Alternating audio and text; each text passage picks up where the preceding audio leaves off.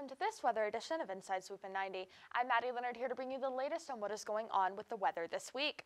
First up, new storm system Hurricane Lee has quickly made itself known, becoming the first documented Category 5 hurricane of the season.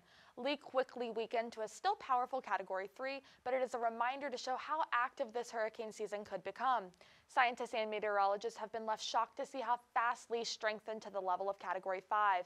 Many are blaming the rising ocean, ocean temperatures for Lee becoming a monster so quickly. Since this hurricane season is forecasted to be very active because of the high water temperatures, it is important to stay updated on the latest growing storms. Let's take a look at today's forecast. For today, we can expect clear skies in the morning with very warm temperatures in the low 90s. Around the 12 o'clock hour, we will start to see some dark clouds rolling in with some light rainfalls. These light rains will quickly turn into scattered thunderstorms in the lunchtime hour, and these storms will stay throughout the evening.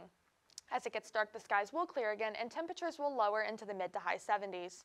Sunscreen is going to be vital again today as the UV is going to be a 10 out of 11. Expect humidity to be high and get even higher when that rainy weather rolls in. As we see right now, it is going to be pretty overcast coming up soon and it will remain overcast for a while. Winds will be low and storms will move through pretty slowly. Luckily, the rest of the week is going to be a bit sunnier than today. Let's take a look at our seven day forecast. Rest of the week, you can expect sunnier skies and few thunderstorms here and there.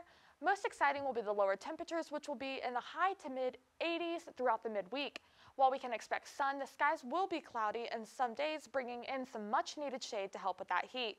Going into the middle of the week, Thursday is going to be the day that you are going to pull those rain boots out of the closet with a 60% chance of rain. But moving into Friday, the weekend, you can put those boots back up because we are expecting the sun to come out again. That's it for this weather edition of Inside Swoop in 90. I'm Maddie Leonard, and I'll see you next time.